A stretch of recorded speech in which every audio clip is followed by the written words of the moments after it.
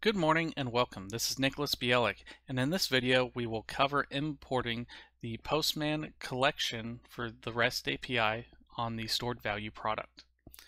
So first you're going to go to the link in the comments and download the stored value collection. Uh, once it's downloaded on your PC go ahead and upload it. Once this collection is uploaded uh, go ahead and click edit and go ahead and set your authorization, your basic authorization, uh, referred to the REST implementers guide on how to create a proper username and password in alohaenterprise.com. And then I'll show you how to gather the company ID and the application ID.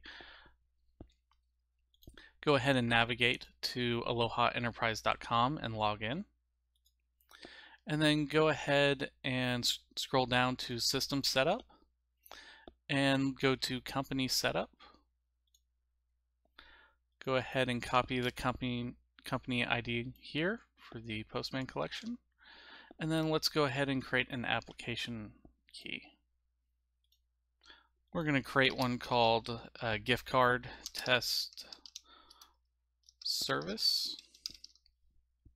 And we typically like to set in the future, three to five years out, but please defer to your security team for passwords or your company policies.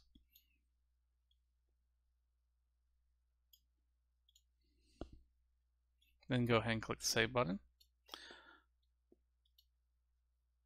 Go ahead and click Copy. We will highlight this application key and move it over to our Postman collection and now your collection should be up and running. If you didn't enter in your basic authentication, you'll see the following error below in the response body, unable to verify credentials. If it was an invalid application ID, you would see that instead. So here's the same call, but with uh, credentials I have already entered in for myself. As you can see, the call succeeded and the response body states that the service is currently up and working.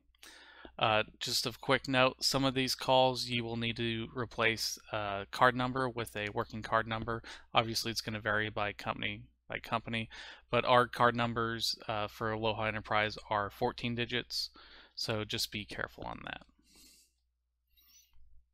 And that's it. That concludes the video on the implementing or importing the Postman collection for Aloha stored value. Thank you.